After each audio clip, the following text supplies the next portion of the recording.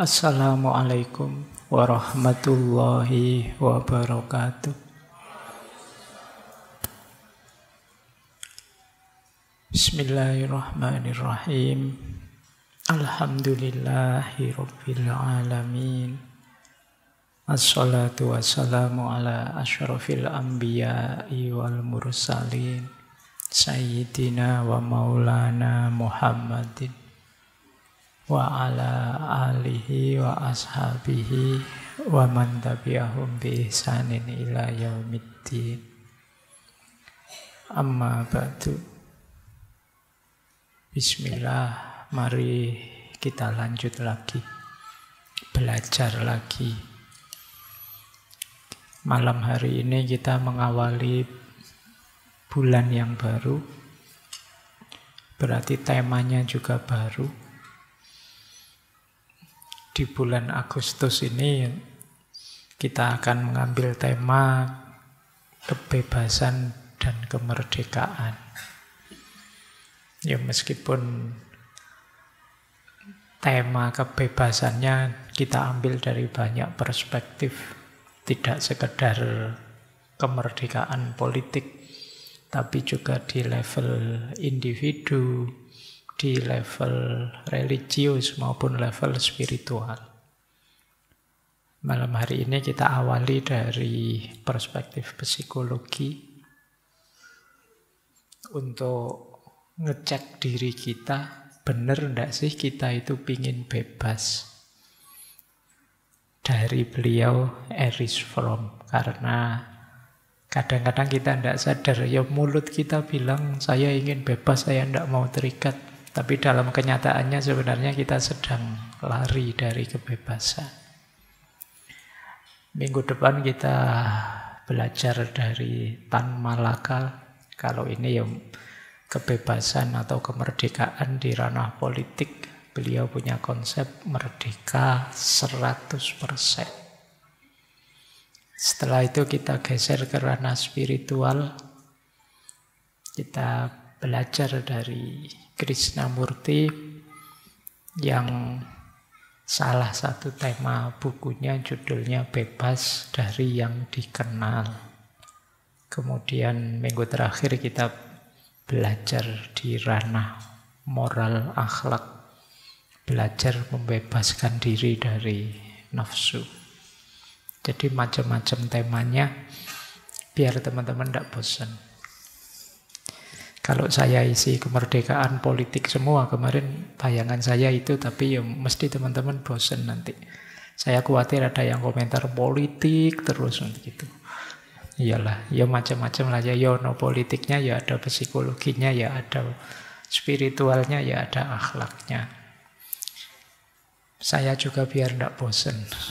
Karena kadang-kadang satu tema dari ranah yang sama itu ya isinya kadang mirip-mirip. Makanya kita awali sekarang dengan psikologi. Materi malam hari ini agak padat, jadi teman-teman siap-siap ya. Agak banyak juga, ini zaman saya mahasiswa dulu saya baca buku ini. Lari dari kebebasan. Dari beliau Erich Fromm yang salah satu bukunya dulu juga pernah kita bahas yaitu The Art of Loving, seni mencintai. Nah, buku seni mencintai itu menurut saya bagian dari konsep besar beliau tentang psikologinya manusia yang nanti dikenal sebagai psikologi humanistik. Yang antara lain bisa kita pahami lewat buku Lari dari Kebebasan ini. Bismillah ya kita belajar. Coba malam hari ini kita tengok diri kita, kita ada di mana. Apalagi ini kan teman-teman banyak yang muda-muda ya, yang biasanya mengidamkan kebebasan. Apa iya begitu? Nah nanti kita belajar dari Erich Fromm ini. Filosof, ahli psikologi, psikoanalisis, kemudian juga psikologi sosial juga dikenal sebagai salah satu eksponen madhab Frankfurt Beliau kelahiran tahun 1900, meninggalnya 1980, pas berarti usianya 80 tahun. Dan orang pinter yang jelas ya. Kalau tidak pinter ya tulisannya tidak banyak. Pengaruhnya juga besar. Meskipun hidupnya juga tidak mulus-mulus amat. Beliau ini hidup dalam apa ya lingkungan keluarga yang agak sulit. Ayahnya introvert ibunya dikenal agak narsis. Jadi kombinasinya ya yang sing yang satu narsis, yang satu introvert. Sehingga ya, pengalaman di rumah itu mungkin salah satu inspirasi beliau ya. Beliau juga pernah ditinggal pacarnya waktu umur 12 tahun. Ya jangan kaget. Oke. Jadi pacarnya ini bunuh diri. Jadi perempuan yang dia cintai bunuh diri karena ingin ikut ayahnya. Ayahnya meninggal, dia tidak kuat, depresi, terus bunuh diri. Nah ini ini fenomena-fenomena ini nanti mungkin antara lain yang dilihat oleh Erich Fromm.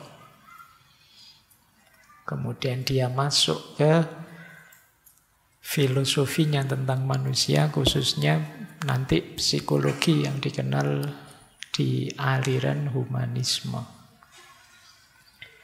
Baik, bismillah kita lihat ya. Seperti apa gagasan-gagasan beliau tentang manusia. Di ranah psikologinya yang menurut beliau salah satu gayanya manusia itu ada yang lari dari kebebasan. Kalau kalian cari bukunya sebenarnya ada kalau mau membaca ya. Tapi biasanya ya kalau saya bilang gini kalian tertarik nanti bukunya dibeli tapi bacanya tidak. Yuk, bismillah kita mulai. saya awali dari sini. Salah satu pandangannya Erich Fromm adalah Beliau melihat manusia itu secara eksistensial. Kita sebut saja eksistensial itu ketika dia menjalani hidupnya sesuai yang dia inginkan, itu sering ketemu dikotomi-dikotomi. Yang dikotomi ini sering menggelisahkan, harus dicari solusinya. Karena kelihatannya kok sama-sama benar dan tabrakan. Ya namanya dikotomi kan saling berlawanan sebenarnya. Dikotomi pertama yaitu tabrakan situasi antara hidup dan mati. Kita itu ingin menseriusi hidup, menikmati hidup dan lain sebagainya, tapi kita juga sadar bahwa nanti saya akan mati. Sementara masa saya sudah secapek itu kerja, secapek itu melakukan ini itu membangun kepribadian lah, menata hidup dan lain sebagainya. Kok yang dilala akhirnya mati. Ini kan menggelisahkan. Kegelisahan bahwa saya berakhir mati itu membuat manusia galau secara eksistensial. Gimana kemudian caranya saya tetap bisa tahan lama? Kemudian ada banyak jalan dilakukan untuk mengatasi kesadaran bahwa saya akan mati. Yo antara lain termasuk muncul banyak sekali konsep-konsep termasuk dalam agama-agama yang menegaskan bahwa tidak usah takut, karena mati bukan akhir. Nanti masih ada hidup sesudah mati. Ini juga nanti jadi dikotomi lagi. Kadang-kadang keyakinan bahwa sesudah mati nanti masih ada to be bukan final, juga membuat kita terus tidak terlalu serius dengan hidup ini. Itu yang banyak dikritik kemarin kan oleh Nietzsche dan kawan-kawan, oleh Karl Marx bahwa Terus kita jadi lemah, kita jadi, anda ah, apa-apa saya kalah di dunia. Nanti di akhirat baru saya sukses. Tidak apa-apa kita dijajah, kita ditindas orang. Wong dunia ini tidak akhir segalanya. Kita jadi pasif, kita jadi males. Jadi ini yang oleh Erich Fromm disebut ada dikotomi-dikotomi yang membingungkan kita. Terus kita, ya terus gimana ya Pak enaknya? Itu yang disebut dikotomi tadi. Ya jangan tanya saya ya kamu pikir sendiri. Ya setiap orang punya jawaban versi masing-masing. Makanya ada orang yang memaknai ini terus saya harus hidup sepenuhnya menikmati berkarya kreatif sebelum kematian itu datang. Sehingga orang masih mengingat saya. Tapi ada juga yang memaknai hidup jangan terlalu ngoyo, jangan terlalu serius karena hidup ini hanya ilusi yang sejati nanti setelah mati. Macam-macam makna diberikan. Nah, oke, ini dikotomi pertama. Disebut dikotomi ya karena mungkin kayak tadi ada pertentangan-pertentangan dan kita tidak tahu solusi idealnya seperti apa masing-masing orang dengan aliran dan kecenderungannya punya jawaban sendiri-sendiri. Yang kedua, ini juga lanjutannya, ada dikotomi antara tujuan dan waktu. Kita kan selalu oleh banyak orang di mbok hidup ini punya tujuan. Mbok hidup ini kita aktualkan semua potensi diri kita, kita realisasikan diri kita seideal mungkin. Gantunglah cita-citamu setinggi langit. Kan selalu begitu. Tapi di sisi lain kita juga ada problem waktu. Loh kalau cita-citamu setinggi itu apa waktunya cukup? Kalau kamu ingin membentuk dirimu seideal itu, apa kamu sempat merasakan kebahagiaan? Saya akan bahagia kalau sudah lulus S3 terus kerja di perusahaan yang luar biasa terus bisa gajinya satu bulan sekian M yang itu ditempuh dalam waktu panjang. Padahal kita tidak tahu sebatas mana usia kita, berapa lama durasi waktu yang diberikan Tuhan untuk kita hidup. Ini kan yang disebut dikotomi. Kita mau jawab gimana ya susah. Ya tetap harus serius Pak. Lah tapi kalau terlalu capek serius kita tidak sempat menikmati terus sakit terus meninggal gimana? Oh berarti saya harus menikmati dulu ya Pak. Tidak usah serius-serius lah. Kalau kamu tidak serius-serius masa depanmu bagaimana ya? Kalau usiamu panjang. Itu yang disebut dikotomi. Kamu bingung lagi. Malam hari ini tambah stres nanti kamu pulang. Ternyata masalah kita banyak dalam hidup ini. Yang ketiga, ah, ini nanti yang dibahas yang ketiga ini. Dua yang pertama kalian baca sendiri, kejar sendiri kalau ingin tahu versinya Erich Fromm. Tapi kita fokus di yang ketiga karena temanya kebebasan. Yaitu dikotomi antara kesendirian dan kebersamaan. Dulu ngaji filsafat pernah membahas secara terpisah kesendirian, kemudian satu sesi lagi kebersamaan. Saya yakin begitu kalian mendengarkan kesendirian, kalian merasa cocok. Iya, memang hakikatnya hidup itu sendiri memang. Kita lahir sendiri, berjuang sendiri, mati sendiri kan begitu. Tapi begitu mendengarkan yang kebersamaan, iya saya tidak mungkin hidup tanpa orang lain. Apa bisa saya mengklaim diriku sendiri? Tidak bisa. Jadi kalian merasa sama-sama masuk di dua tema itu. Kenapa? Karena itu memang eksistensi kita ya dua-duanya itu. Ya sendiri tapi sekaligus butuh orang lain. Ini yang disebut dikotomi. Kita sadar bahwa saya ya saya bukan orang lain. Aku punya keinginan sendiri, karakter sendiri, cita-cita sendiri, gaya hidup sendiri. Orang lain juga versinya mereka masing-masing. Di sisi lain kita juga sadar, tapi mengaktualkan diriku hidup seperti ideal yang ada di kepalaku tidak mungkin terwujud tanpa bantuan orang lain. Boleh kalian sebut cita-citamu apa pun, itu pasti melibatkan orang lain. Enggak kok Pak, saya ingin uzlah saja misalnya menjauh dari orang banyak. Ya kamu menjauh, tapi kan kamu juga anaknya seseorang, saudaranya seseorang. Kamu punya kebutuhan ini, kebutuhan itu. Sama sekali tidak bisa kamu jauh dari orang lain. Ini yang disebut dikotomi. Pingin si asik sendiri, menikmati diriku sendiri, me timeku sendiri terus-terusan. Tapi apa ya mungkin?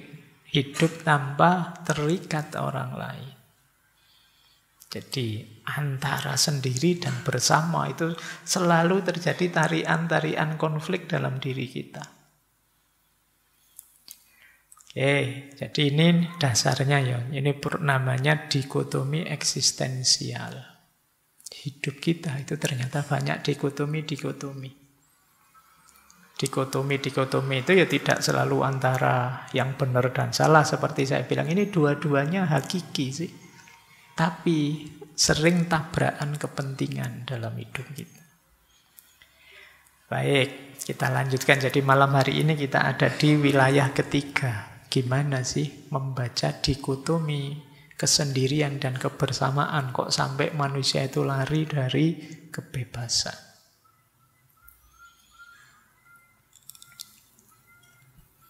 Nah, sekarang kita lihat ini dasar berpikirnya Erich Fromm. Kenapa kok ada orang terus lari dari kebebasan?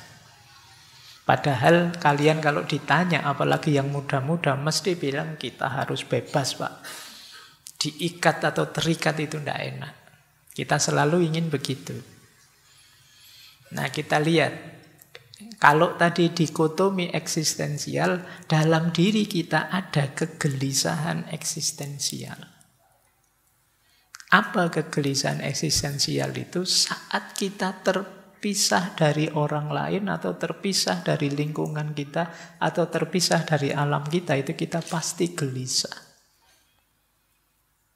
Momen jauh, momen perpisahan, momen LDRan kalian yang ngerti ya. Itu kan momen yang pahit. Apa ada kamu yang seneng-seneng dalam perpisahan kan enggak? Jadi kamu gelisah saat mengalami perpisahan sendiri itu tidak enak dalam perspektif ini. Jadi kamu ingin kalau kamu pas sedih ada orang lain untuk berbagi, kalau kamu pas seneng ada orang lain yang ikut merayakan dan menyelamati kamu. Jadi ini salah satu kondisi eksistensial yang sering menggelisahkan kita. Sementara di sisi yang lain kita jadi manusia ingin mandiri. Ingin tidak terikat oleh orang lain. Ingin aku bisa menyelesaikan semua masalahku sendiri. Kan kita ingin begitu. Di sisi lain kalau jauh dari orang lain kita merasa kesepian. Ada ndak di sini kalau pas lagi suntuk obatnya ya keluar nyari temen ngobrol guyon-guyon seneng-seneng terus kita ceria lagi. Kalau stuck saja di kamar atau di rumah ya kita rasanya suntuk, puyeng.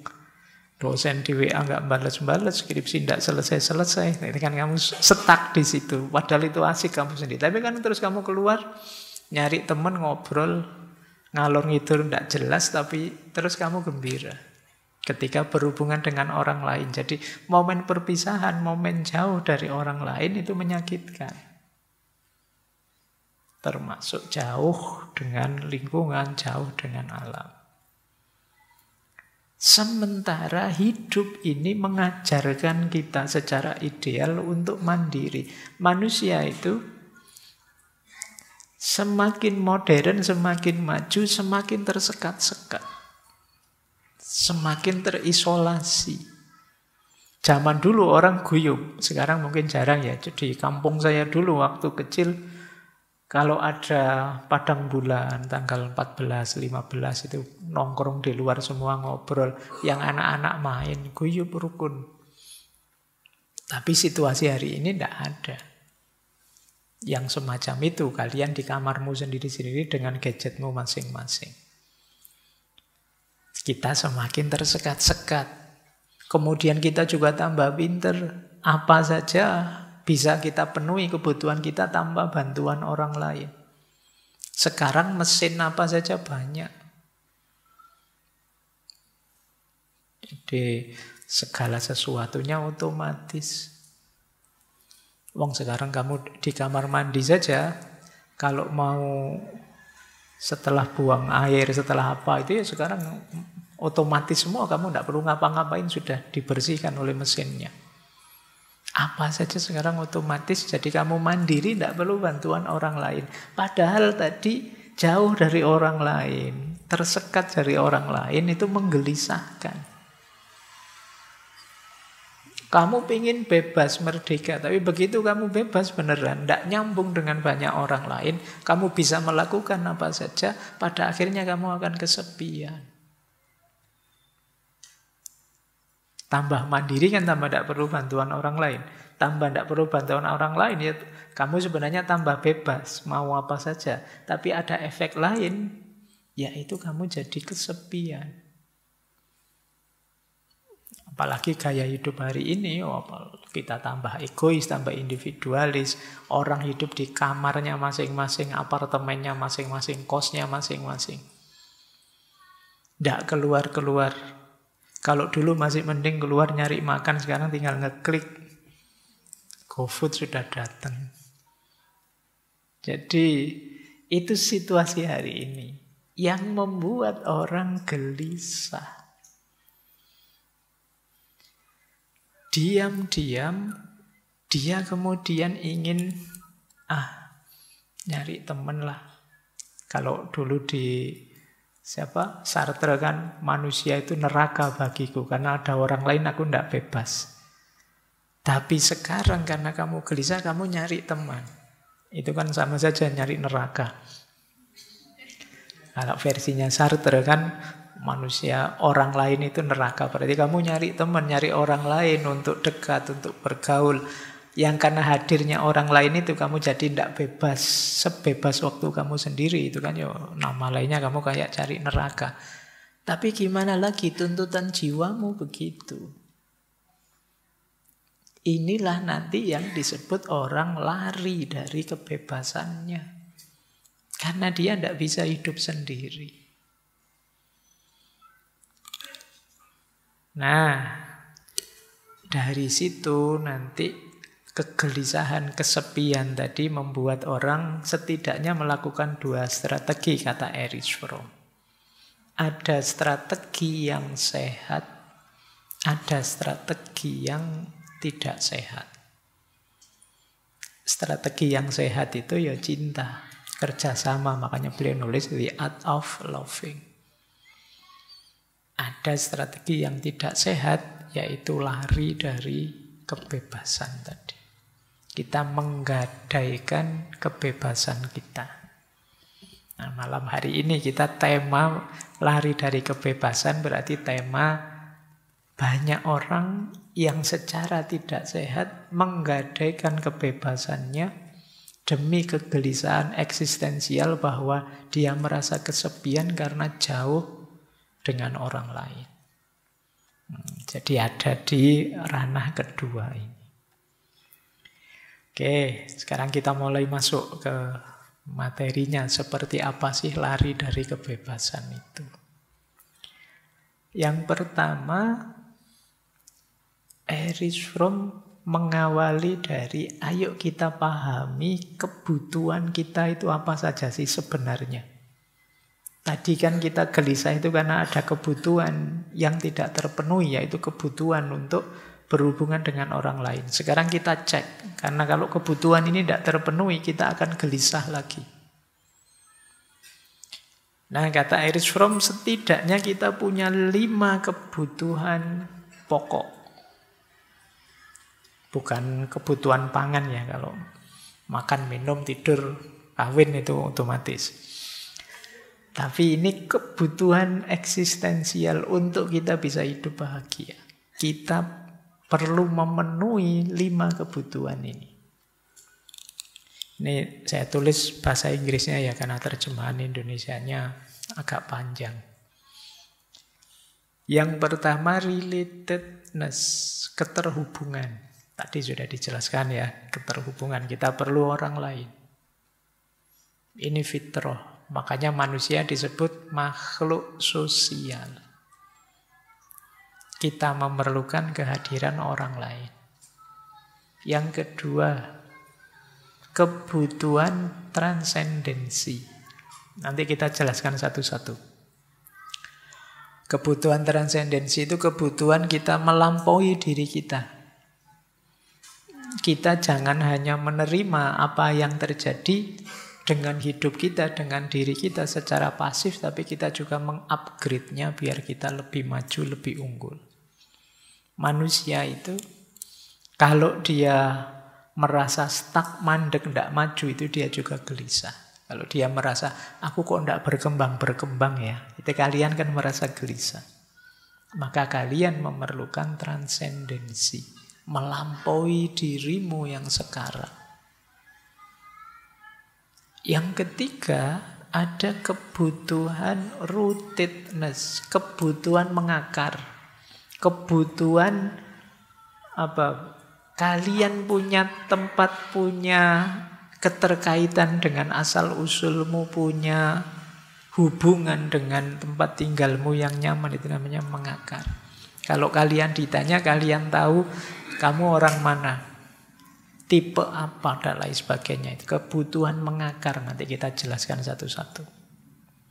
Kemudian a sense of identity, rasa identitas. Siapa aku? Orang yang tidak bisa bilang siapa aku itu orang yang paling gelisah. Kamu, kamu siapa sih? Saya itu tidak tahu pak, saya itu orang kayak gimana. Itu dia mesti gelisah.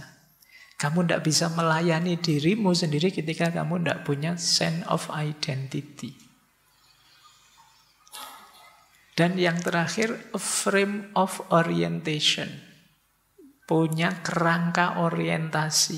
Hidup ini mau kamu arahkan ke mana.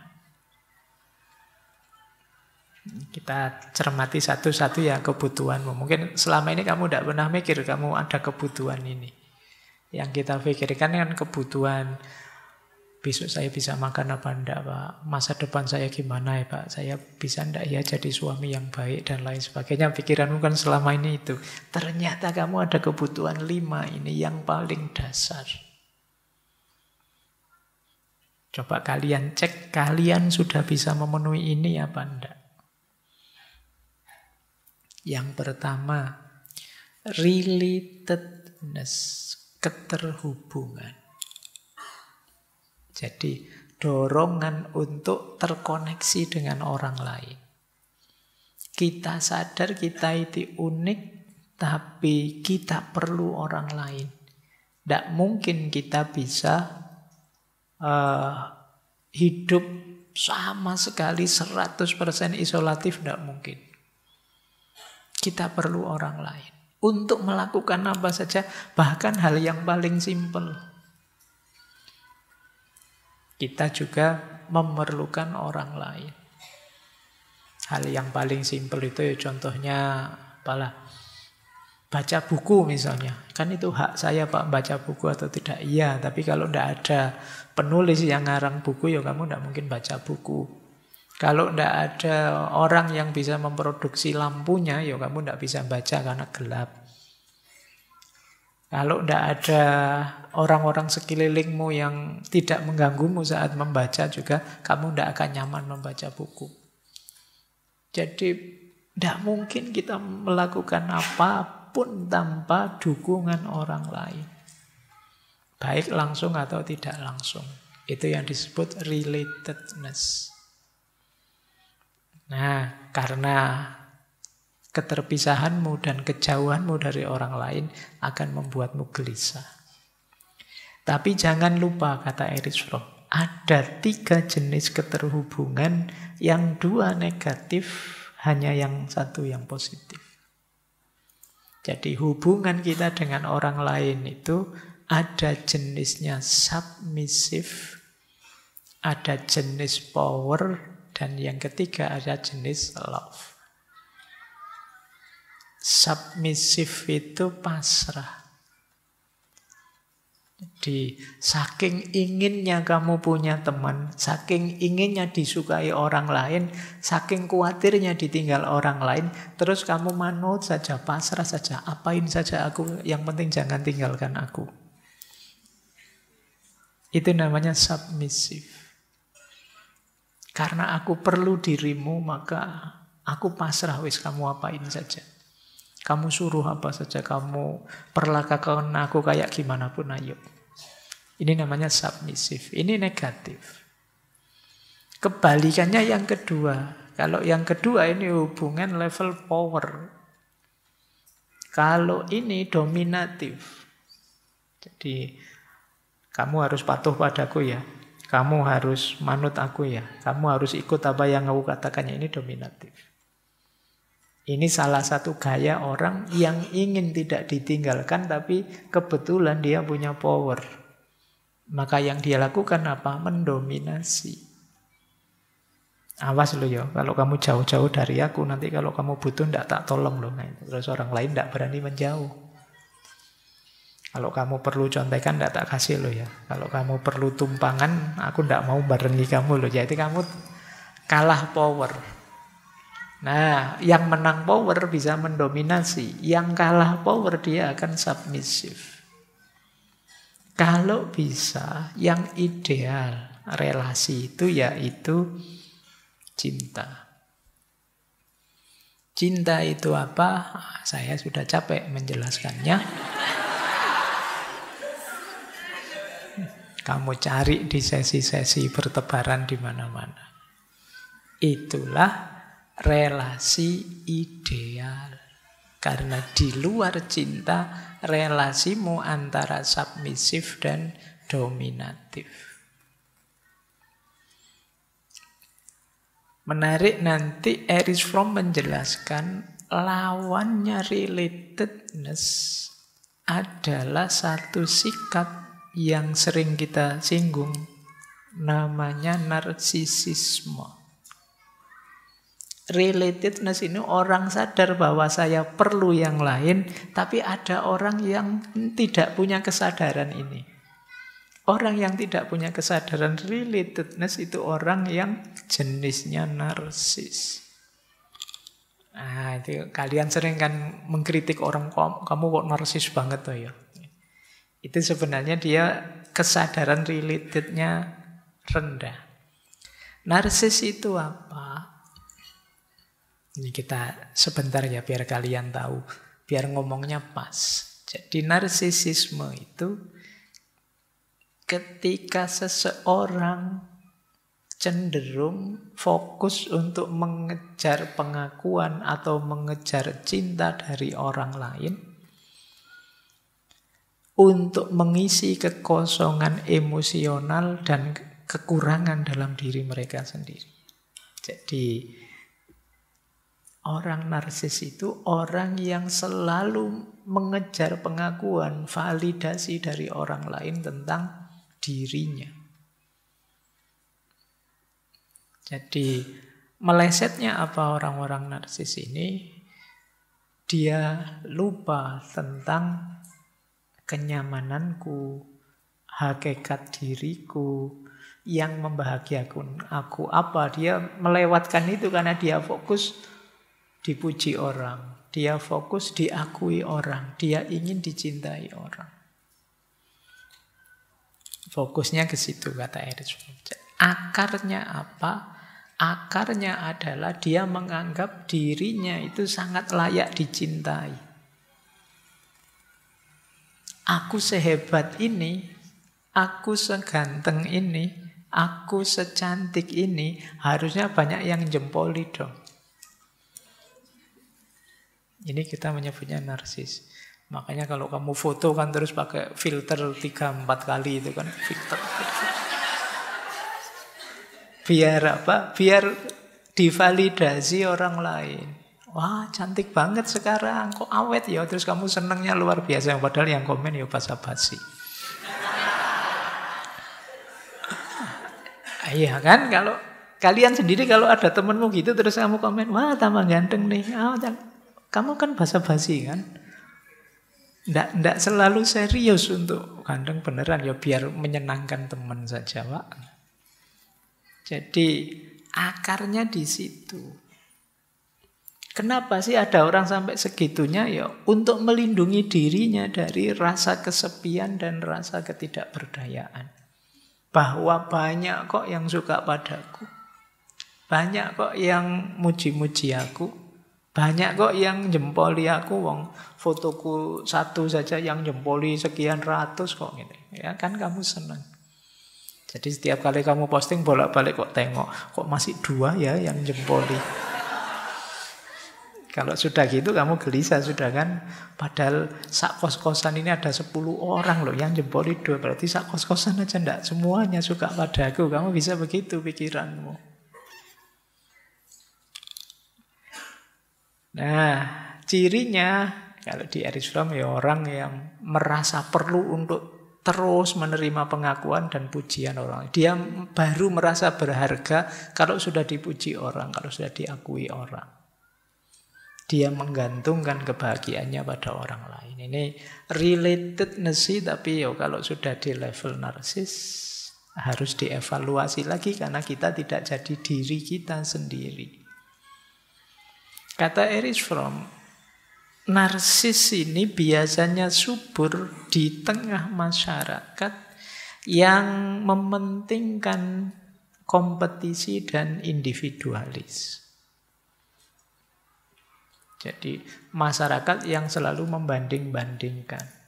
Yang selalu, ah kamu kalah cakep sama ini, ah kamu kalah hebat sama itu, kamu terus kamu tertantang untuk membuktikan bahwa aku sudah sehebat ini loh. Aku sudah seganteng ini loh. Aku sudah secakep ini loh.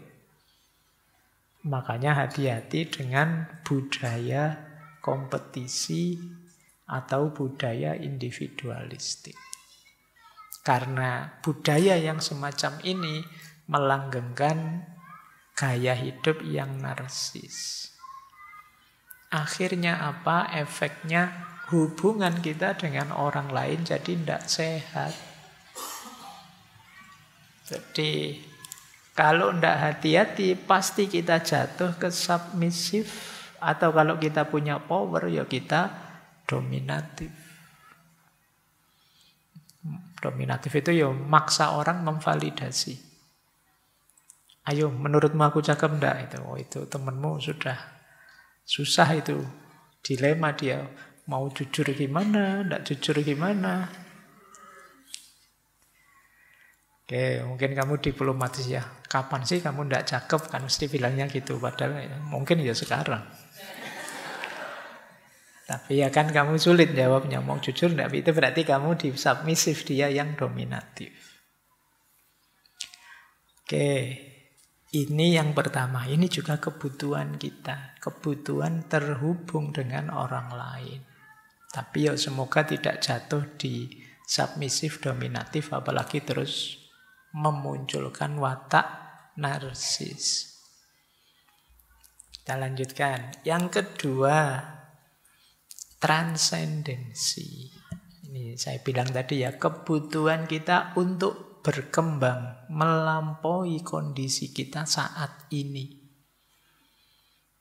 Jadi kita bangkit dari kondisi pasif menuju kondisi penuh makna dan kebebasan.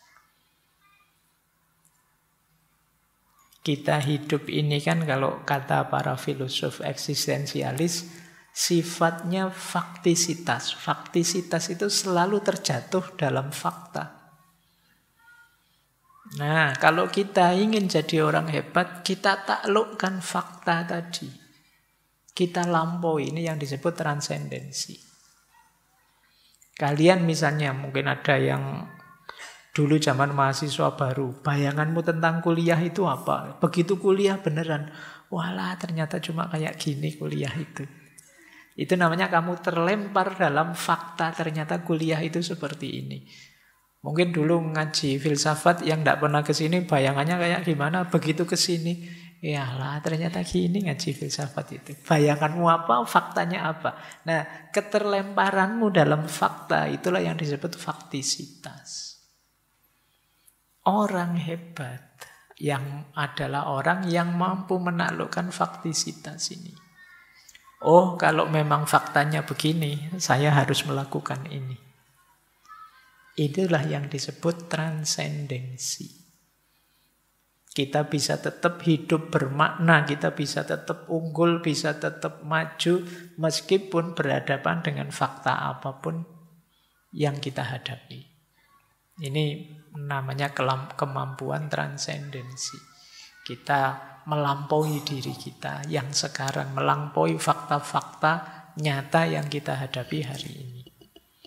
Ini juga kebutuhan, karena orang itu kalau tenggelam dalam fakta, juga menggelisahkan. Aku kok manut saja ya, aku kok ndak kreatif ya, aku kok yo ya ndak kelihatan ya, ndak berkarya ya, orang-orang kok ndak menyebutku sama sekali ya, misalnya itu kan menggelisahkan. Kamu bukan sesuatu dalam tanda petik, dan itu menggelisahkan. Di situlah orang kemudian kreatif, ingin menunjukkan ini loh aku.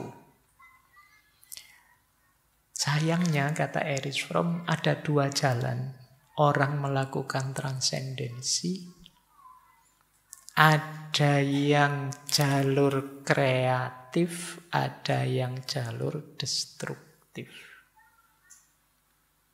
Yang jalur kreatif, ya banyak kita berkarya lewat seni, agama, filsafat, termasuk lewat cinta, memproduksi ini itu. Ini namanya jalur kreatif peradaban segala capaian-capaian teknologinya yang kita lihat hari ini itu contoh orang melampaui dunianya secara kreatif. Laptop, HP, mikrofon ini dan lain sebagainya ya contoh bagaimana kita bisa melampaui dunia kita. Kalau saya tidak ada mikrofon ini, misalnya saya ngomong kayak gini, baris kedua di situ sudah tidak dengar suara saya. Tapi fakta suara saya yang tidak terlalu keras dibantu oleh mikrofon. Ini melakukan transendensi secara kreatif. Tapi ada juga orang yang melampaui dunia dan dirinya secara destruktif. Dengan cara merusaknya. Nanti kalau rusak saya bisa mengontrolnya, saya bisa melampauinya. Makanya ada kriminalitas, ada kejahatan ini itu, itu ya sebenarnya berawal dari pola transendensi yang destruktif. Ada banyak orang yang ingin mengubah dunia secara destruktif dengan cara merusaknya. Termasuk melakukan pembunuhan-pembunuhan. Kata Erich Fromm, manusia itu satu-satunya makhluk yang bisa membunuh dengan alasan selain mempertahankan diri. Biasanya makhluk-makhluk yang lain itu seandainya mengeluarkan racunnya atau membunuh binatang yang mengganggunya dan lain sebagainya, itu alasannya mempertahankan diri. Satu-satunya yang bisa membunuh tanpa alasan mempertahankan diri itu manusia. Wah, alasanmu banyak membunuh itu kan. Bisa karena malu, bisa karena stres, bisa oh, macam-macam. Dan itu khasnya manusia. Jadi kalian memang istimewa. Tidak terancam apa-apa bisa membunuh orang. Nah, ini yang disebut transendensi secara destruktif. Maka kalian hati-hati. Transendensi memang kebutuhanmu, tapi semoga kalian penuhi secara kreatif. Terus yang ketiga, ada rootedness. Keberakaran. Jadi kejelasan akarku di mana.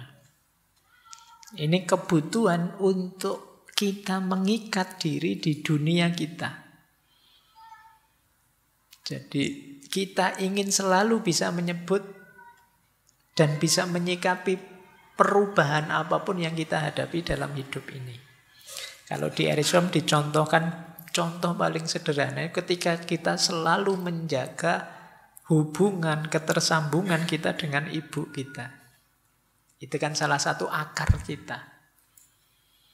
Jadi kita ingin selalu berakar di dunia kita, tidak terombang-ambingkan. Saya Pak, orang Indonesia, budayanya begini, tradisiku seperti ini, hidupku di daerah ini, makanya gaya ngomong saya begini. Ini bagian dari rootedness. Keperluan keberakaran. Kalian kan gelisah kalau disebut, kamu orang mana sih kok tidak jelas gitu. Indonesia kok sudah tidak kelihatan gitu, kamu kan tidak nyaman kalau digitukan. Katanya kamu anaknya orang terpandang, tapi gayamu kok begitu. Kamu kan tidak mau kan? Kenapa? Kita punya kebutuhan akar. Kalau kita dicabut dari akar kita, kita akan gelisah. Kita selalu mendefinisikan diri kita ya sesuai akar kita. Nah, tentang akar ini Erich Fromm menyebut ada dua gaya rootedness, ada gaya negatif, ada gaya positif. Gaya negatif namanya fiksasi. Kalau gaya positif itu namanya keutuhan diri. Ya, kita pelajari pelan-pelan. Malam hari ini saya bilang materinya banyak, padat. Mungkin nanti rekamannya kalian ulang-ulang. Jadi fiksasi itu kita menyambungkan diri dengan akar, tapi keterikatan kita dengan akar itu keterikatan yang tidak sehat. Sehingga apa? Menghambat pertumbuhan pribadi kita. Kita jadi tidak maju, kita jadi tidak berkembang karena keterikatan kita dengan akar kita. Jadi mungkin ada hal tertentu yang Mbok kamu maju, enggak Pak, di tempat saya kayak gini saja cukup kok Pak. Ini namanya fiksasi. Ah kalau di tempat saya Pak yang penting sekolah kemudian kawin kerja sudah selesai Pak tidak usah mikir aneh-aneh. Dan kamu merasa yo itulah aku dan budayaku. Terus kamu tidak mau maju tidak mau berkembang. Ini jenis fiksasi ini yo mengikat sih mengakar sih tapi secara negatif. Kemudian kita tidak bisa menyikapi perubahan. Ketika lingkungan sekeliling kita berubah, kita tidak bisa beradaptasi. Tidak pak, biasanya begini jadi yo. Ini sekarang ada teknologi ini loh mas. Ah, enggak pak, kalau pakai teknologi bukan kita. Kalau kita itu sejak dulu ya face to face gini, enggak ada. Nah, ini namanya kita tidak bisa mengadaptasi perubahan. Ini namanya fiksasi. Ya kita tidak berkembang, yang lain berkembang semua, kita sendiri yang tidak berkembang. Pak di tempat saya itu Pak, HP haram Pak, anti HP, TV haram Pak. Ah internet itu neraka semua isinya Pak misalnya. Sementara dalam hidup ini kamu tidak bisa sekarang itu tambah HP, tambah medsos, tambah itu. Tapi kamu kukuh untuk tidak berubah demi akarmu. Ini yang disebut fiksasi. Ini yang oleh Fromm disebut keterikatan keberagaran yang negatif. Nah, yang ketiga ada lagi biasanya mungkin di budaya tertentu yang mengutamakan status, mengutamakan kekayaan, mengutamakan prestasi dan kita terjebak di situ sehingga tidak bisa mengekspresikan apa keinginan kita yang sebenarnya. Ya kalau di sini Pak, ya umur-umur 16 tahun harus sudah nikah. Kalau belum nikah, wah itu. Nah ini ini namanya budaya tertentu. Ah kalau di sini Pak, yang penting punya rumah, punya mobil. Standarnya itu sih. Kalau belum punya itu masih belum disebut sukses misalnya. Terus kita terikat di situ jadi tidak maju di situ itu yang disebut fiksasi. Padahal situasi berubah, dunia ini dinamis, macam-macam bahkan situasi orang beda-beda dan tidak bisa diseragamkan. Oh kalau di sini Pak, ya minimal hafal Al-Quran 30 juz lah. Baru dia bisa. Nah ini misalnya. Oh kalau di tempat sini bukan itu. Kalau di tempat sini yang penting apa gitu. Ini keberagaran negatif. Istilahnya fiksasi. Pokoknya ini ya ini. Tidak bisa ditawar lagi.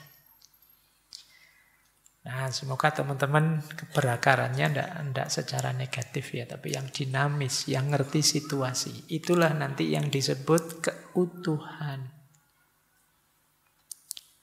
Cirinya keutuhan ada tiga. Yang pertama, refleksi diri terus dilakukan. Siapa aku, apa peran yang harus aku mainkan, apa ke mana aku ini harus berkembang itu namanya refleksi diri.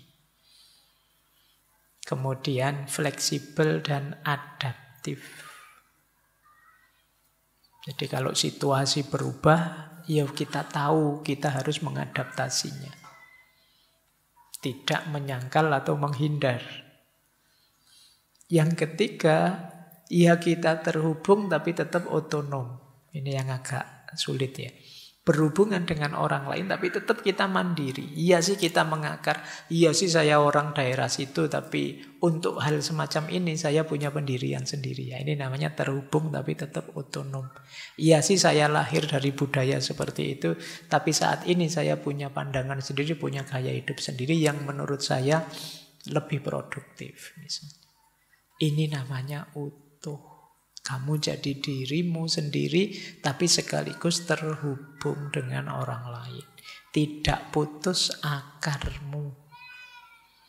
Karena putus akar itu menggelisahkan. Inilah ciri ketiga dari kebutuhan eksistensial manusia. Yang keempat, ini masih panjang. Teman-teman harus siap energinya. Sense of identity. Rasa identitas. Kata Erich Fromm, man may be defined as the animal that can say I. Manusia bisa didefinisikan sebagai binatang yang bisa bilang aku. Itu manusia. Yo, maksudnya bukan sekedar ngomong aku sih. Menyadari keakuannya yo. Burung beberapa bisa dilatih ngomong aku, aku gitu iso. Tapi manusia yang sadar keakuannya, punya kesadaran aku. Di luar manusia tidak ada. Ini versi Erich Fromm. Nah, sadar tentang diri yang khas siapa aku, aku harus bagaimana, yang baik yang harus aku lakukan apa. Namanya sense of identity. Kalian harus bisa jawab kalau ditanya siapa kamu. Yo, jawaban pertanyaan mesti namamu kan. Ya kalau nama yo mesin juga bisa. Maksudnya apa? Orang seperti apa sih dirimu? Setelah ini teman-teman bolehlah yang pulang nanti coba bikin satu dua kalimat, tiga kalimat boleh, empat kalimat boleh yang menggambarkan diri kalian masing-masing. Aku adalah orang yang seperti ini loh. Boleh diawali dari kategori-kategori yang kalian sudah tegas. Misalnya, saya itu orang Indonesia. Indonesia itu menurutku begini loh. Saya seorang muslim dan muslim yang baik itu menurut saya begini loh dan saya sudah di level ini. Coba kalian definisikan dirimu. Ini namanya orang yang punya rasa identitas. Bisa menunjuk dirinya. Pernah tidak kalian menyebut namamu sendiri mungkin rasanya agak aneh di telinga? Jadi ada yang bilang orang yang bisa mengambil jarak dari dirinya. Ini orang yang bisa objektif membaca dirinya. Pernah tidak kamu menyapa dirimu sendiri? Eh, Faiz, Faiz, kan tidak enak ya. Kamu coba panggil namamu sendiri. Di telingamu rasanya tidak enak. Tapi itu latihan. Coba kamu ambil jarak dari dirimu. Opo kamu itu is pak is ngomong aja sejak tadi misalnya itu memarahi diri ini agak ngambil jarak. Nanti ya pulang dari sini kamu sapa dirimu sendiri. Jangan keras-keras nanti orang nganggap kamu. Ya, kamu karena ya itu tadi namanya sense of identity. Tapi hati-hati juga sense of identity itu kalau versinya Erich Fromm ada yang problematik, ada yang sehat. Jadi ada sense of identity yang masalah, yaitu ada orang yang bermasalah di identitasnya. Yang pertama ada tipe orang yang kehilangan identitas. Tidak bisa menyebut, saya tidak tahu Pak, saya tidak jelas Pak. Saya itu apa? Saya itu bagaimana? Ini problem. Yang kedua ada tipe orang yang krisis identitas. Ini juga masalah.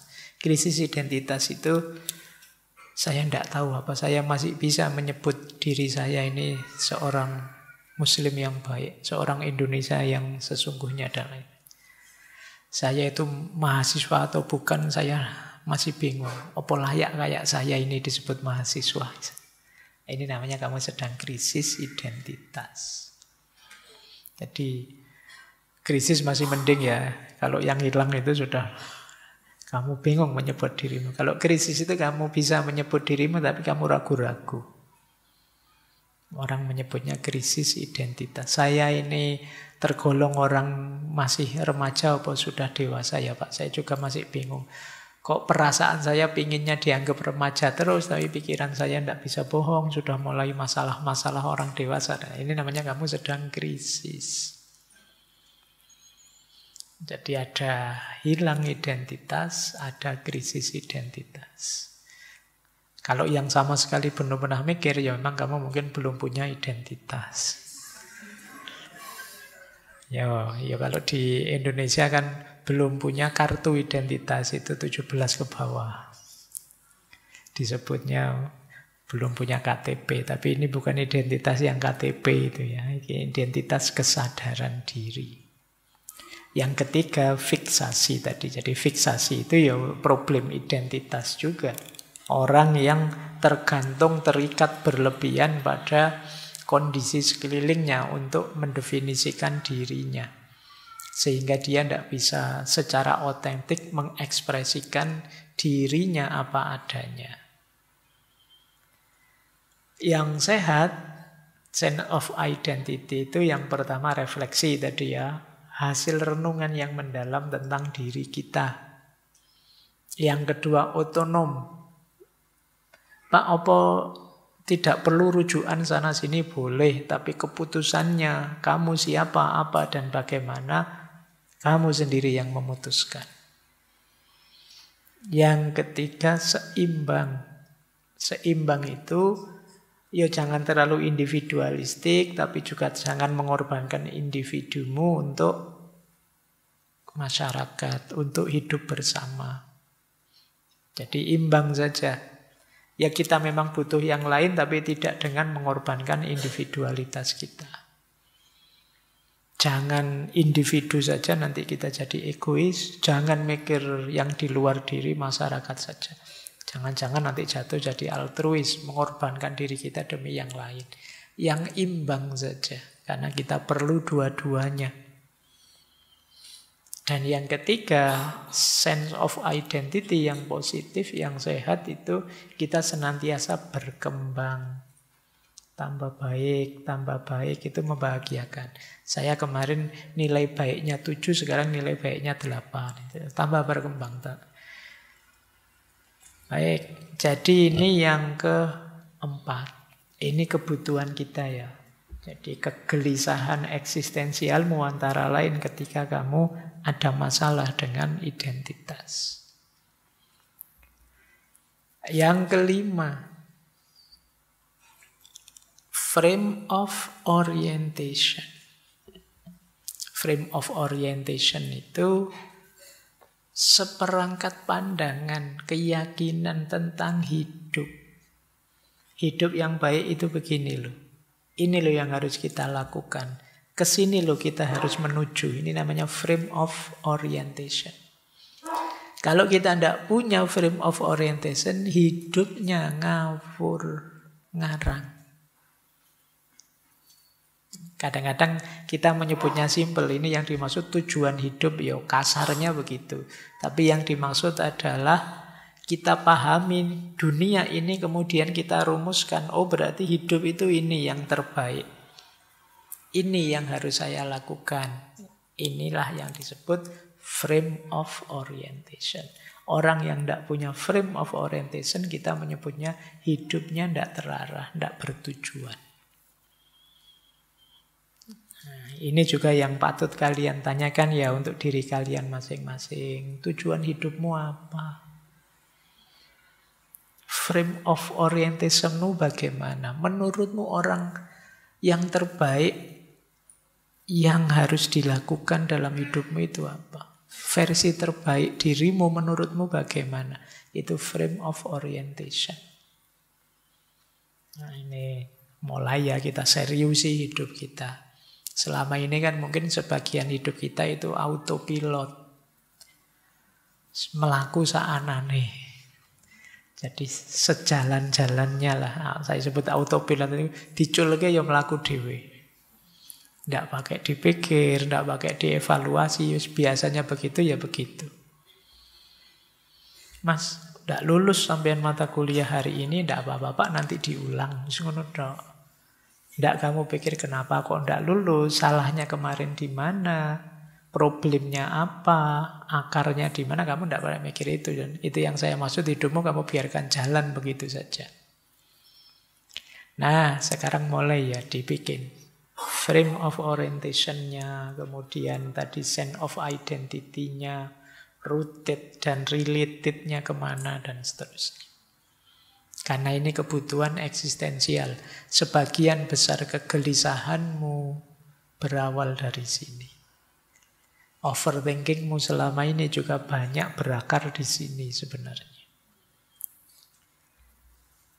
Nah, tentang frame of orientation ini, Eric Fromm menyebut ada dua jenis. Ada yang irasional, ada yang rasional. Yang irasional berarti yang tidak masuk akal. Negatif berarti. Apa itu? Kamu selalu ingin divalidasi secara eksternal. Ini irasional. Padahal hidup-hidupmu, kamu tahu yang terbaik untukmu apa, tapi kamu tidak yakin, tidak mantap, selalu ingin divalidasi orang, kayak orang narsis tadi. Ya tentu saja akhirnya kamu tidak bahagia. Kebahagiaanmu kamu gantungkan ke komentarnya orang. Apa tidak stres kamu kalau seperti ini yang sekarang netizen itu jempolnya ngeri-ngeri.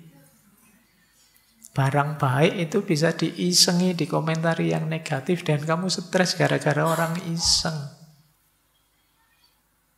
Jadi sekarang kan pedomannya kalau tidak ada kamu tidak rame. Akhirnya yuk bikin rame-rame terus.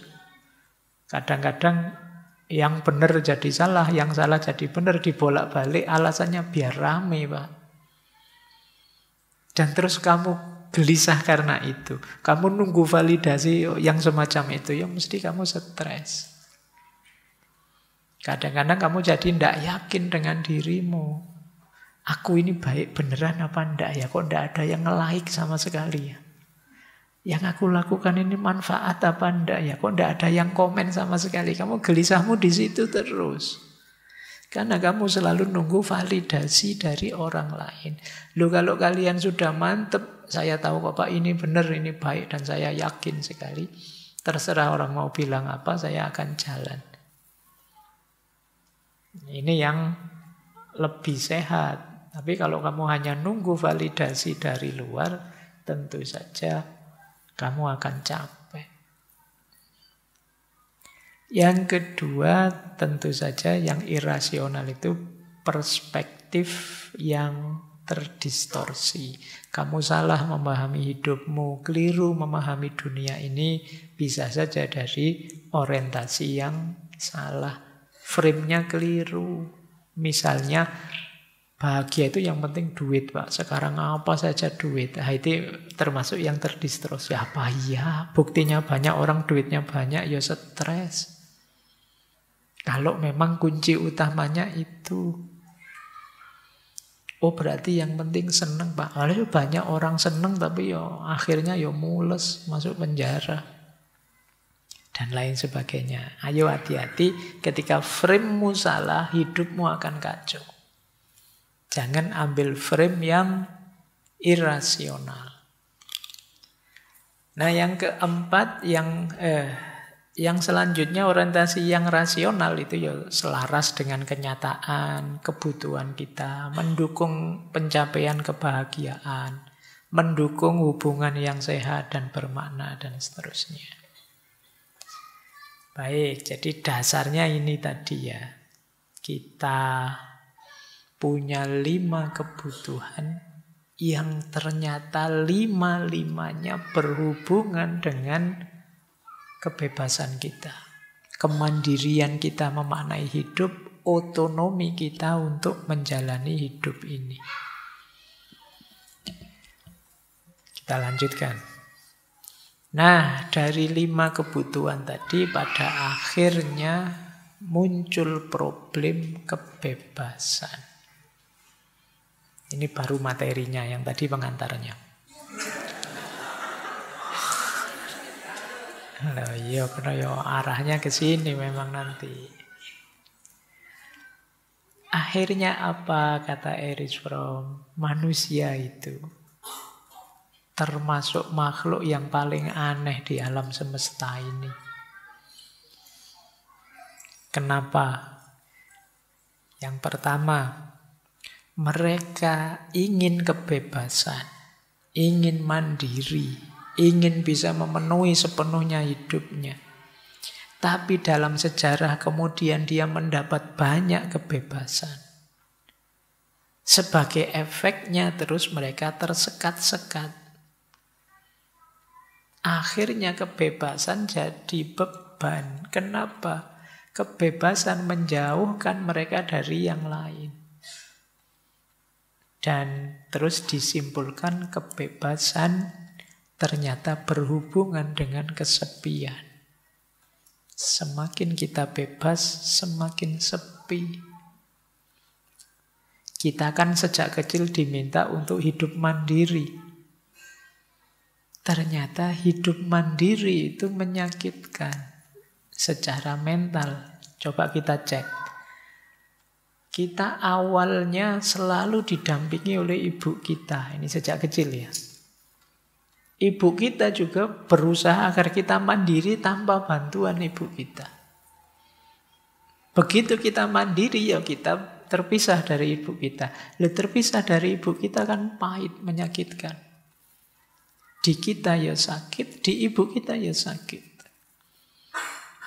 Oh ya, tidak hanya ibu, orang tua semua begitu. Orang tua harus menyekolahkan anaknya, naruh anaknya di pondok dan lain sebagainya. Diasramakan dan lain sebagainya. Yang intinya dijauhkan dari orang tuanya. Ini kan momen menyakitkan. Tapi demi dia bisa mandiri.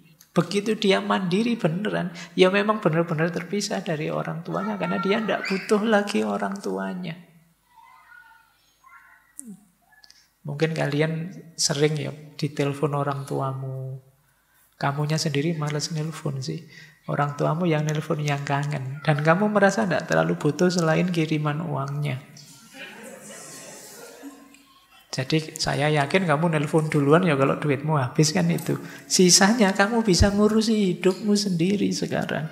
Makanya kamu tidak banyak nelpon sekarang. Jadi momen Ketika kita semakin mandiri adalah momen kita semakin jauh dari orang lain, semakin kesepian. Inilah hubungannya kebebasan dan kesepian. Ini salah satu bebannya kebebasan. Jadi kalau di bukunya Erich Fromm itu ada The Burden of Freedom. Beban dari kebebasan itu ya antara lain kesepian. Yang kedua, beban dari kebebasan adalah kecemasan. Jadi selain cemas bahwa kita nanti sendirian, juga cemas karena begitu kita bebas, kita harus membuat pilihan sendiri, menentukan sendiri, menjalani sendiri, dan bertanggung jawab sendiri. Ini membuat kita, wah iya ya, kalau saya yang memutuskan sendiri, seandainya meleset, ya saya tanggung jawab sendiri. Karena saya milih sendiri, nanti males-malesan orang akan marah padaku. Bisa ndak ya saya? Kalau kalian dipaksa orang untuk milih, bukan pilihanmu, terpaksa menjalani, seandainya ada apa-apa, kamu mudah lempar tanggung jawabnya. Oh itu kemarin bukan pilihan saya, bapak itu loh makso jurusan filsafat. Saya ndak pingin, misalnya. Terpaksa saya ambil jurusan filsafat. Kalau kamu gagal, orang tidak akan menyalahkanmu. Kamu bisa lempar tanggung jawab itu. Ya kemarin dipaksa sih. Ya kan? Tapi kalau itu pilihanmu sendiri, wong kamu bebas mandiri, kamu milih sendiri, di situ ada resiko kamu harus bertanggung jawab atas semua keputusan. Dan ini mencemaskan. Kamu jadi khawatir. Keliru ndak ya? Bisa ndak ya saya? Mampu ndak ya saya? Karena pilihanmu sendiri. Ini beban kebebasan yang kedua. Inilah mengapa nanti terus banyak orang yang lebih milih lari saja dari kebebasan. Ternyata kebebasan itu pahit. Itu yang kalian kejar-kejar selama ini ternyata ada efeknya. Efeknya apa? Kesepian dan kecemasan. Ini secara psikologi ya. Jangan kesusu dicimpulkan, wah kalau dulu kita rugi ya Pak, merdeka jadi bebas kita harusnya. Tidak itu, maknanya tidak ke sana. Jadi ini makna psikologisnya. Nah, ada beban ini ya. Problemnya sebenarnya kalau begitu kita jangan bebas bukan. Kata Erich Fromm. Jadi arahnya ke sini nanti. Yang pertama, banyak orang memang terus lari dari kebebasan. Ini yang dikritik oleh Erich Fromm. Jadi kecemasan tadi, kesepian tadi, terus membuat orang lari dari kebebasan. Seperti apa sih caranya orang lari dari kebebasan itu? Menurut Erich Fromm, secara umum orang lari dari kebebasan mengambil tiga rute. Yang pertama, otoritarianisme. Yang kedua, destructiveness. Dan yang ketiga, conformity. Jadi karena tadi kebebasan dirasakan sebagai beban, terus orang mencari pelarian biar beban yang berat tadi tidak ditanggung. Pelariannya ke mana? Tiga jalur ini otoritarianisme, destructiveness, dan conformity. Kita lihat ya, jangan-jangan kita termasuk ada di sini. Otoritarianisme itu kita menghindari kebebasan dengan cara menggabungkan diri kita dengan orang lain dan masuk ke satu sistem tadi dengan logika power tadi. Jadi kita masuk lewat jalur power atau submissive. Ini masuk ke sistem otoritarianistik. Kita menyerahkan kebebasan kita pada orang lain atau pada satu lembaga, kita manut diatur-atur biar tidak bertanggung jawab seperti kalau saya bebas.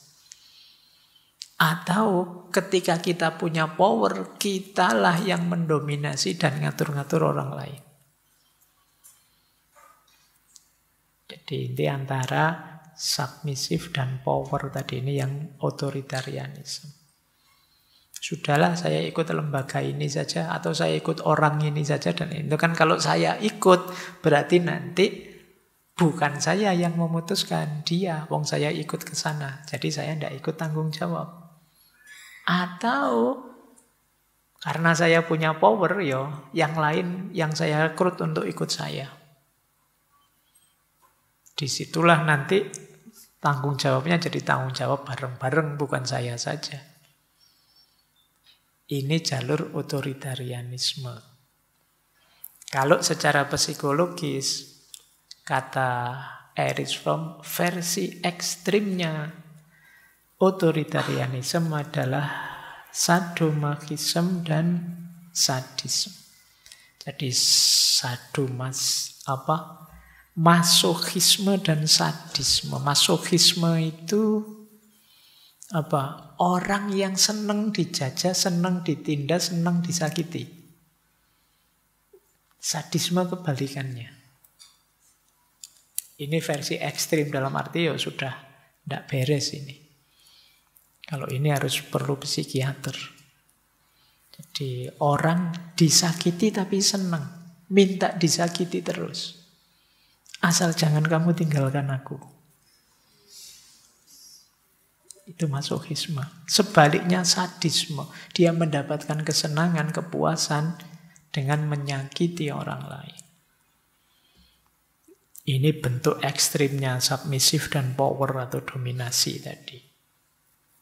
Ini jalur otoritarianisme.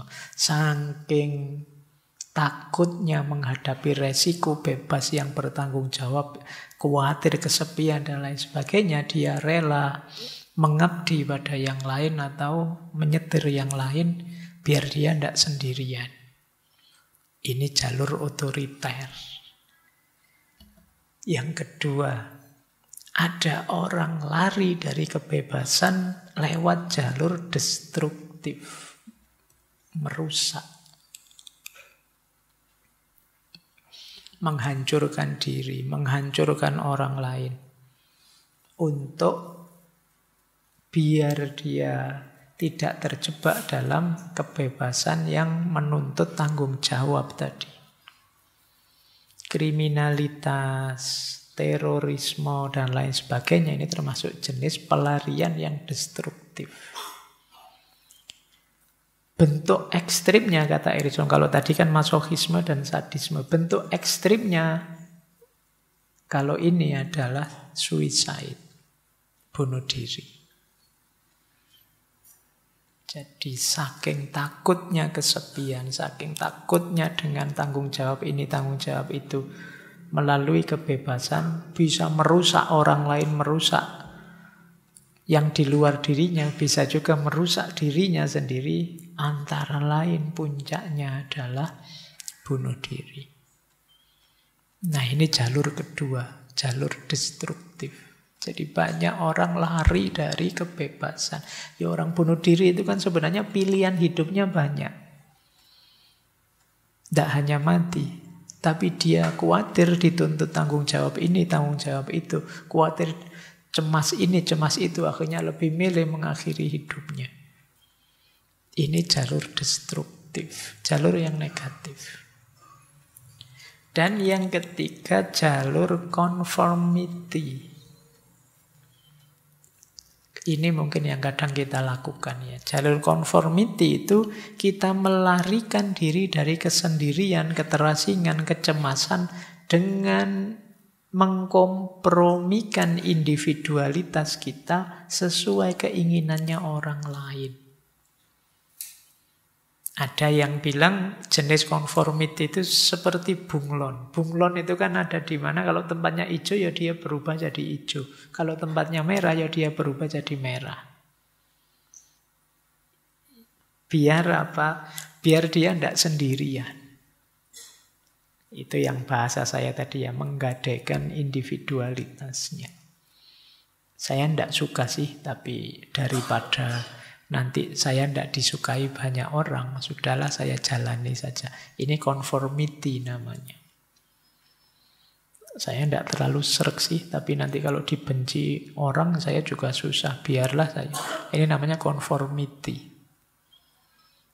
Jadi selalu mengkompromikan yang dia anggap baik, benar, indah, dan lain sebagainya sesuai maunya banyak orang. Inilah pelarian ketiga dari kebebasan. Akhirnya kita tidak jadi diri kita.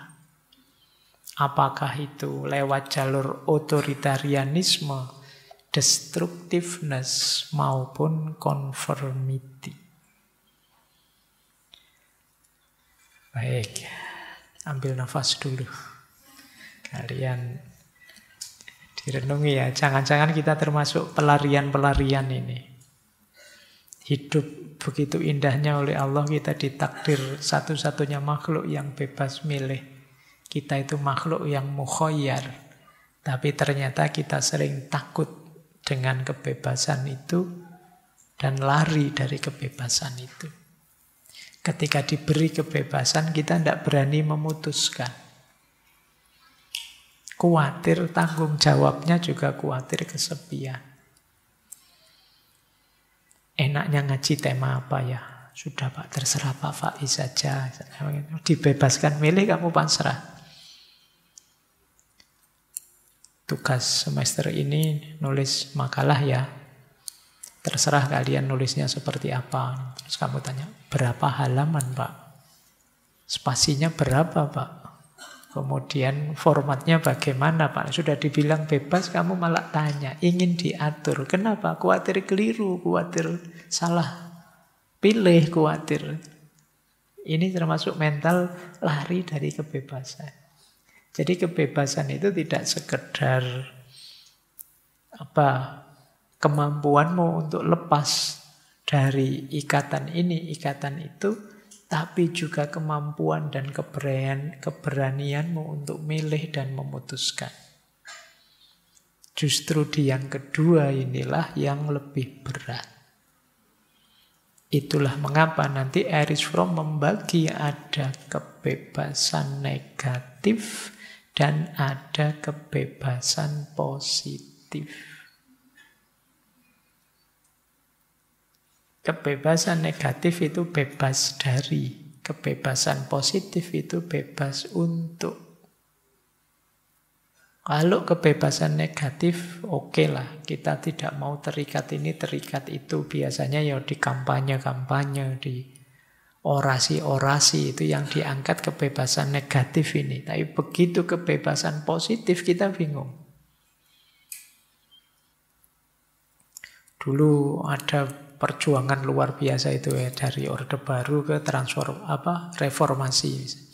Oh itu kan kita ingin bebas dari tapi begitu masuk ke fase bebas untuk kita kebingungan. Padahal justru kunci kemandirian individualitas itu ada di kebebasan yang positif ini. Kebebasan untuk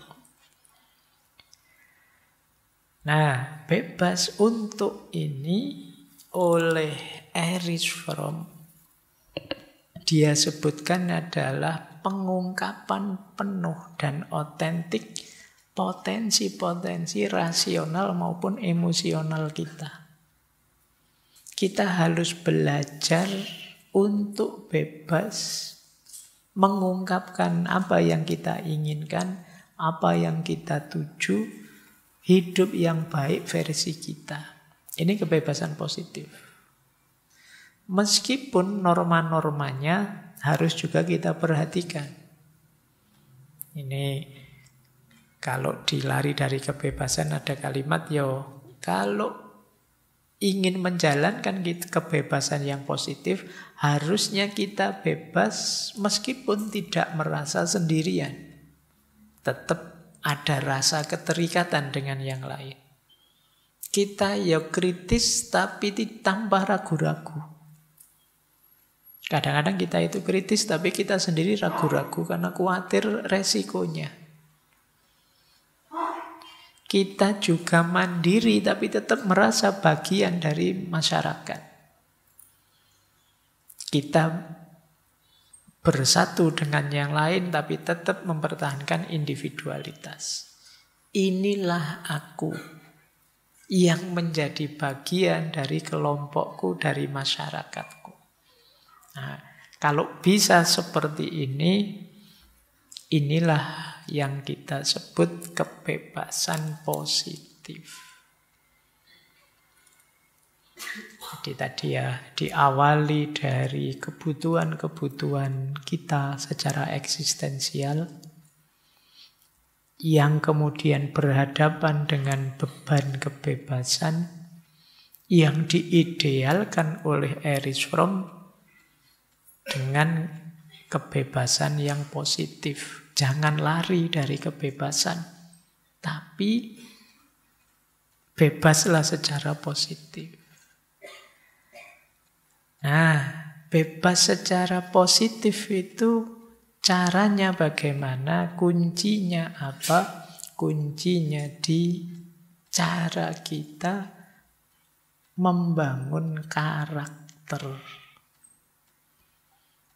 Masuklah sekarang di karakter. Oh, masih panjang materinya. Tidak apa-apa ya.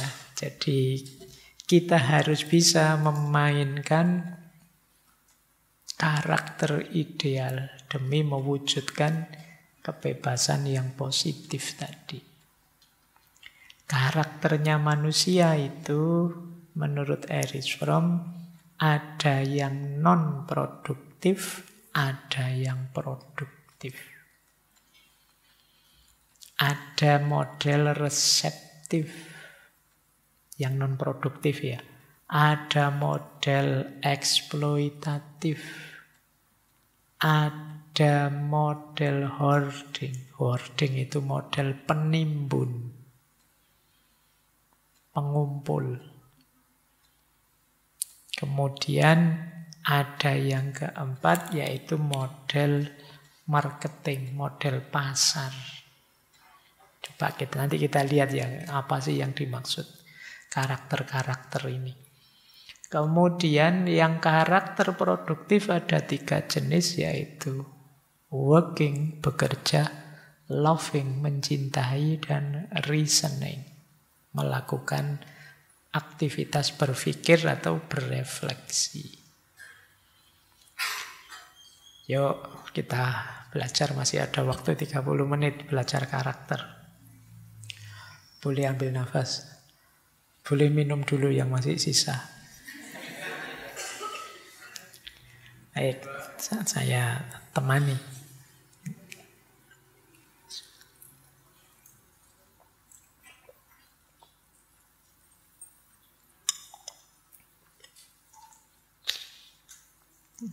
Ayo kita lihat. Ini ada empat karakter non produktif. Ya setiap karakter sebenarnya ada positif dan negatifnya. Makanya tadi saya sebut kepandaian kita memainkan karakter-karakter ini. Yang pertama karakter reseptif. Karakter reseptif itu tipe orang yang pasif dan tergantung. Dia hanya mengandalkan yang di luar dirinya. Dia menunggu. Aku mendapat apa dan begitu aku dapat apa ya saya terima apa adanya. Ini karakter reseptif. Orang yang karakternya reseptif, kata Erich Fromm, orang yang dalam cinta itu menunggu dicintai, bukan belajar mencintai. Jadi ini reseptif. Nunggu ditembak, ndak mau nembak. Nunggu pasti bahwa saya sudah dapat, kalau sudah dapat dinikmati. Ini reseptif. Kalian yang prinsip hidupnya saya nerimo saja Pak.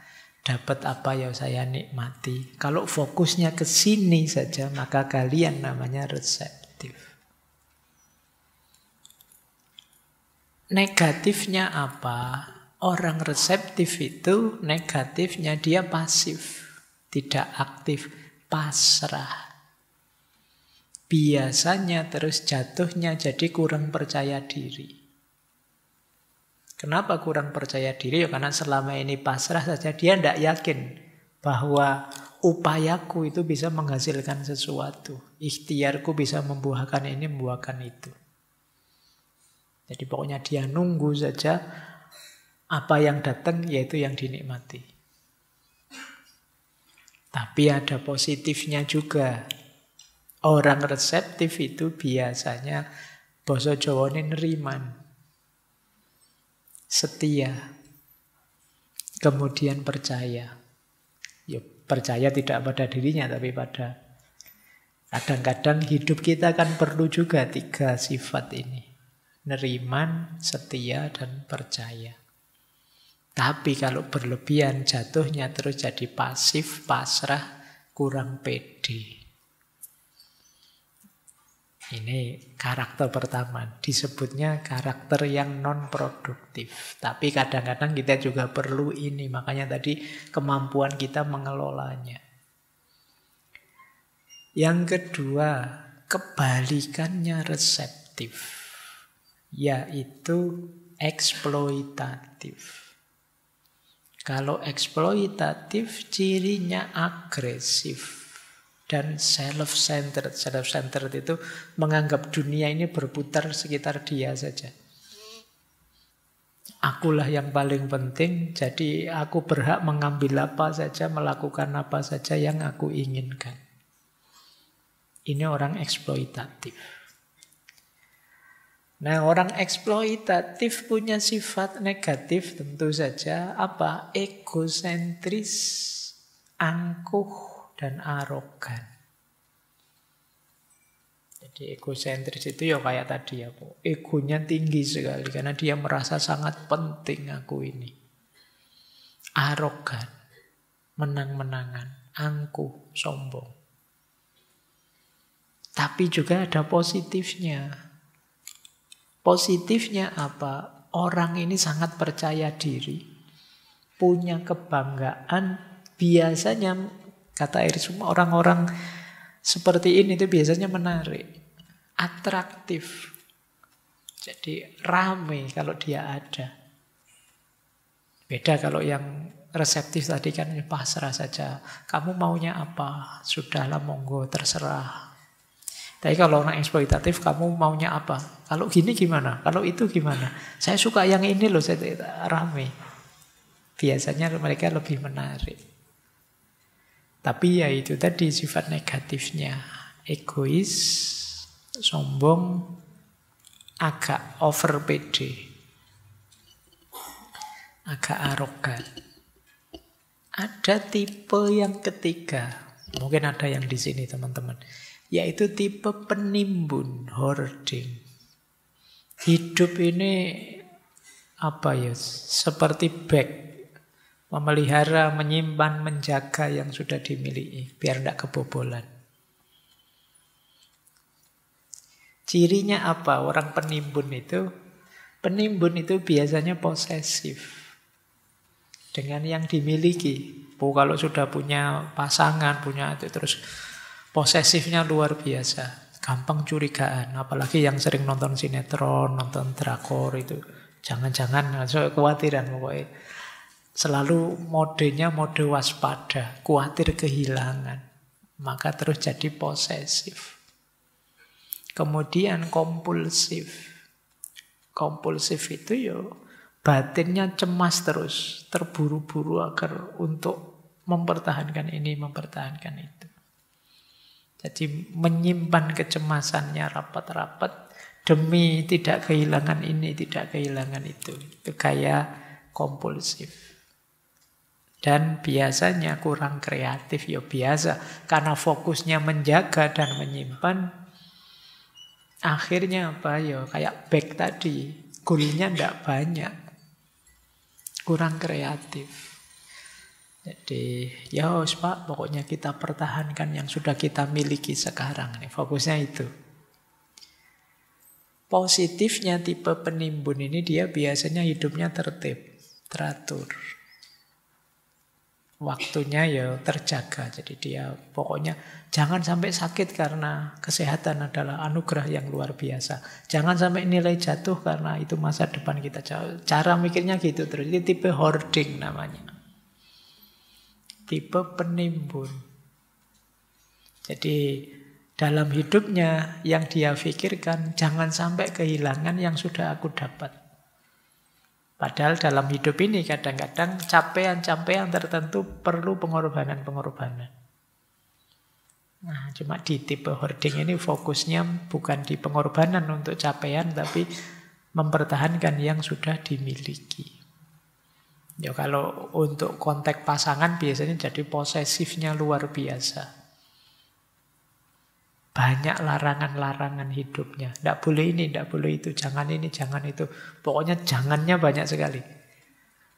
Kenapa? Khawatir kehilangan. Ini posesif. Ya bisa sesama pasangan, bisa orang tua dengan anaknya, dan lain sebagainya. Yang terakhir ada tipe marketing. Kok ada pak karakter marketing ya? Karakter marketing itu karakter yang fokusnya untung rugi.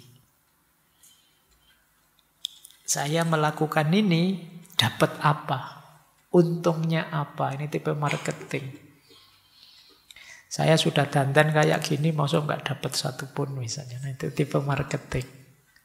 Saya sudah capek-capek melakukan ini kok nilainya masih jelek saja. Itu tipe marketing. Kamu tidak mau rugi sedikit pun. Ini tipe marketing. Negatifnya apa? Ada orang yang mikirnya untung rugi terus. Yang pertama biasanya orang-orang ini oportunis. Dia akan pindah-pindah posisi asal menguntungkan. Tidak konsisten. Dia tidak punya tujuan idealisme yang jelas. Idealismenya ya keuntungan. Kalau di kubu ini lumayan dapat jabatan ya pindah ke sana. Kalau ternyata di kubu sini gersang tidak dapat apa-apa, ternyata ya pindah lagi ke sana. Ini tipe marketing, tipe penjual. Jadi saya ngasih apa, ya harus dapat apa. Ya kalau bisa dapatnya jauh lebih besar. Positifnya apa orang marketing ini? Adaptif dia. Jadi bisa pinter melihat situasi kemudian milih yang bisa menguntungkan dia. Itu kan namanya adaptasinya cepat dia.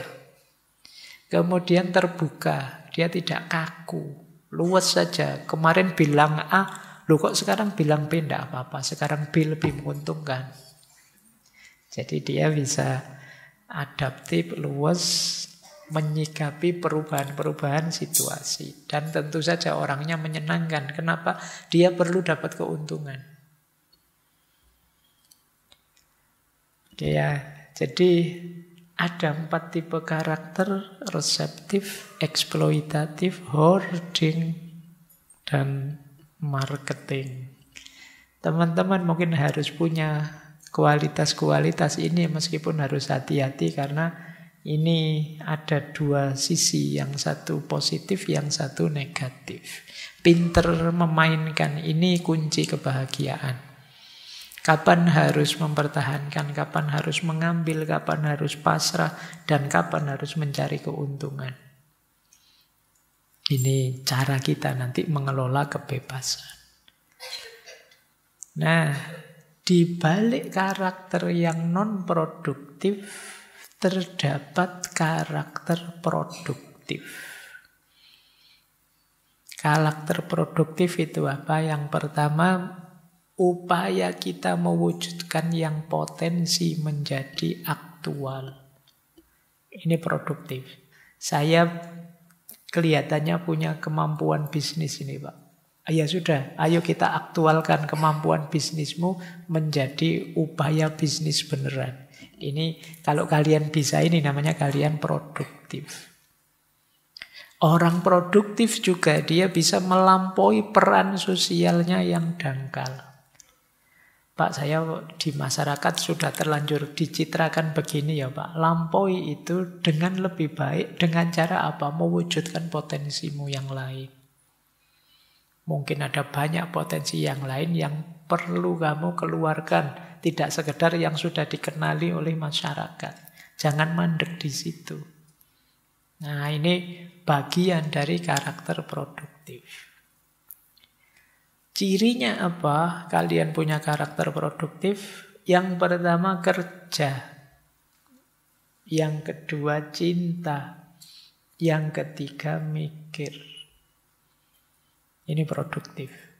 Kalau kalian tidak mau kerja, tidak mau mencintai dan tidak mau mikir, selesai. Tidak mungkin kalian produktif. Berarti pilihan-pilihan kebebasanmu hubungkan dengan karakter produktif ini. Yang pertama kerja.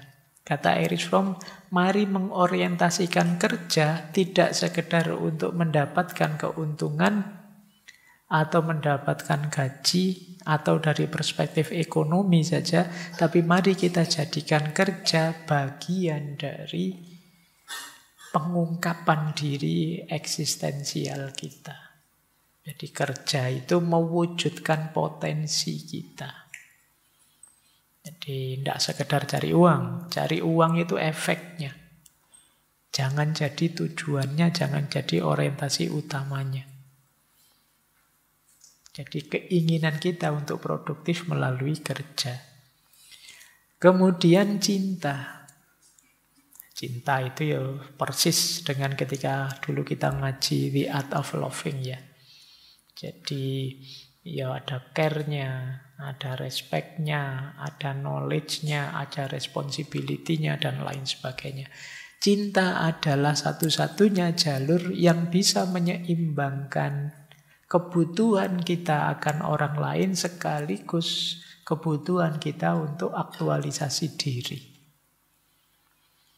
Dalam cinta yang dua jadi satu, dan yang satu tetap dua.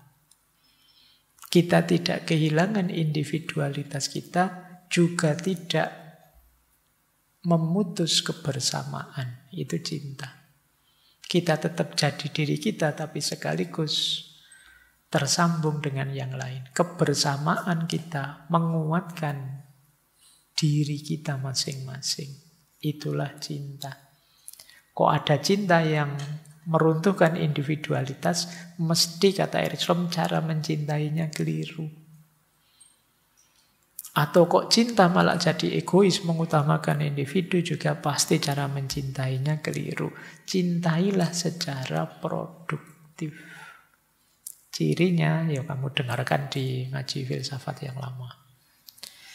Kalau dijelaskan lagi bolak-balik.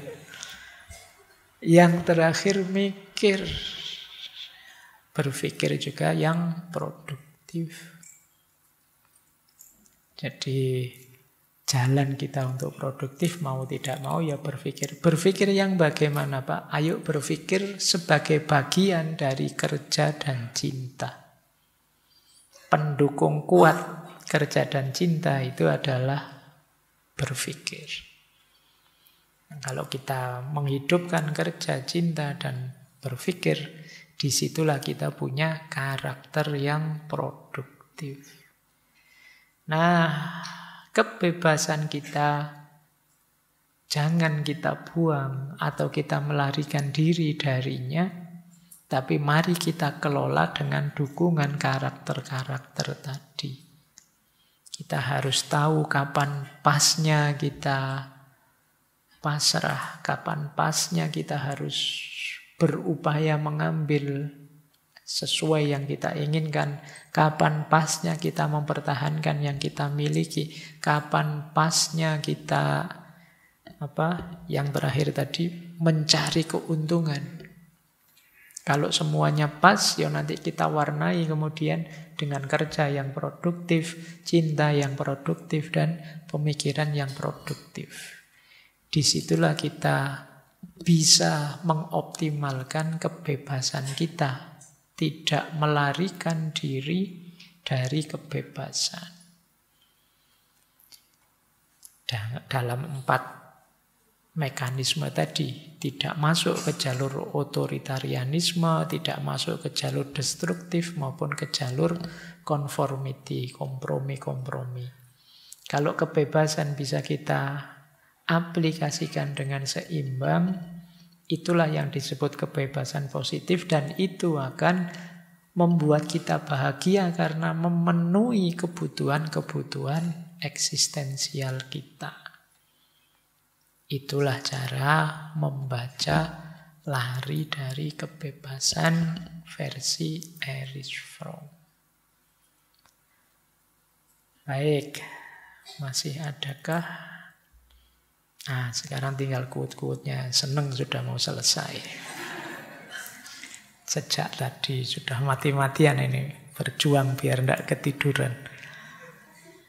Oke, ada beberapa quote yang menurut saya menarik karena beliau ini banyak pikiran-pikirannya yang relate dengan keseharian kita. Kata beliau salah satunya begini, There can be no real freedom without the freedom to fail. Tidak mungkin ada kebebasan yang sejati tanpa kebebasan untuk gagal. Jadi Sukses atau gagal itu ya semuanya mungkin saja dalam hidup ini. Dan bebas itu berarti ya kita bebas untuk sukses dan wajar saja, boleh saja kita gagal wong hidup ini tidak jaminan mesti sukses, kadang-kadang gagal. Ada orang yang punya pandangan bebas untuk sukses, tapi kita tidak bebas untuk gagal. Buktinya apa? Begitu gagal, seluruh dunia memusuhi dia, mencaci maki dia, merendahkan dia. Ini kan namanya kita tidak memperbolehkan orang untuk gagal. Loh, padahal hidup ini ya bisa sukses, bisa gagal.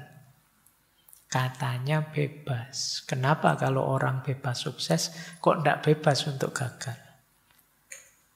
Siapa sih Pak yang bilang tidak bebas untuk gagal? Buktinya kalau ada orang gagal kok kita marahi habis-habisan, kita kritik, kita rendah-rendahkan dia.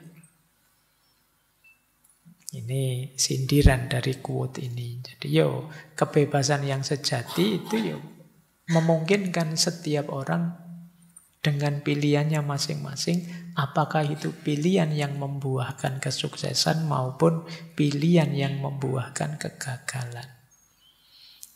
Rasanya kita seperti orang tidak rela kalau ada orang gagal. Padahal hidup ini ya kadang sukses, kadang gagal. Berarti kalau mental kita masih begitu, kita belum ada di kebebasan yang sejati. Nah, menarik lagi beliau bilang begini. Di abad ke-19, problemnya adalah kematian Tuhan. Ini kan populer sekali dari Nietzsche. Kata beliau, di abad ke-20 ini problemnya adalah kematian manusia. Jadi kalau kematian Tuhan dulu waktu kita sesi Nietzsche kan jelas bagaimana Nietzsche mengkritik manusia yang mentalnya mental Buddha. Manusia yang dengan alasan agama tidak berani menjadi dirinya sendiri. Nah, di abad 20 kata Erich Fromm problemnya bukan kematian Tuhan tapi kematian manusia.